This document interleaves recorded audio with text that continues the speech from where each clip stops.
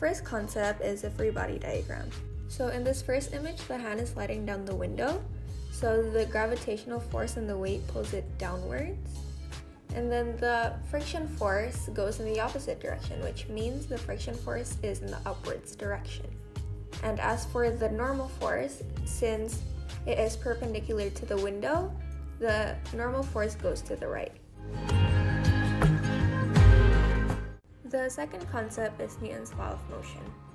The first law is the law of inertia. It states that if a body is at rest or moving at a constant speed, it will remain as such unless it is acted upon by an unbalanced force.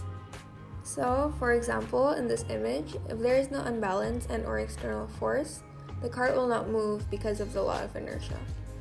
So the second law states that force is equal to the mass of an object multiplied by its acceleration. So for example, in this image, if the object has an acceleration of 10 meter per second squared and the mass is 65 kilograms, then the force will be 650 joules. So for the law of action-reaction, it states that when two bodies interact, they apply forces to one another that are equal in magnitude and opposite in direction. So in this image, if the action is pushing the cart forward, then the reaction is the body gets pushed in the opposite direction, or to the back.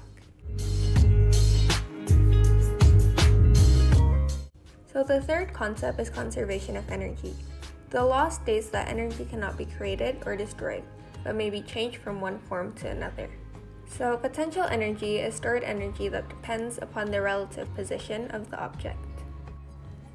So in this image, since Jin is standing on the chair and is suspended above the ground, he will have a potential energy. So since Jin is standing on the chair, he will have a high potential energy. So to calculate this, potential energy is equal to mass times gravitational force times height. So that would equal to 315 joules. For kinetic energy, it is an energy that an object has due to its motion. In this case, Jin is standing still, therefore he is not producing any form of motion. Since Jin is standing still and having no acceleration, he will have a low kinetic energy. So to calculate this, kinetic energy is equal to half times mass times velocity to the power of 2, so that would equal to 0 joules. So for mechanical energy, it is the sum of potential energy and kinetic energy and is also a constant in the system. So since mechanical energy is equal to potential energy plus kinetic energy, the mechanical energy in this image will be 315 joules. So potential energy can be transformed into other forms of energy, such as kinetic energy. So in this image, Jin has moved to the ground. So let's try and calculate the acceleration that it took for him to move to the ground. So the things that we know is that the mass is 63 kilograms, the mechanical energy is 315 joules, and the potential energy is 0 joules. So first we need to figure out what the kinetic energy is.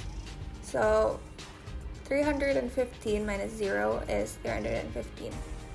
And then to calculate the acceleration, we need to use the formula for kinetic energy. So in the end, it will result to 105 is equal to v squared. So in order to get v, you need to root 105, which results to 10.25 meter per second squared.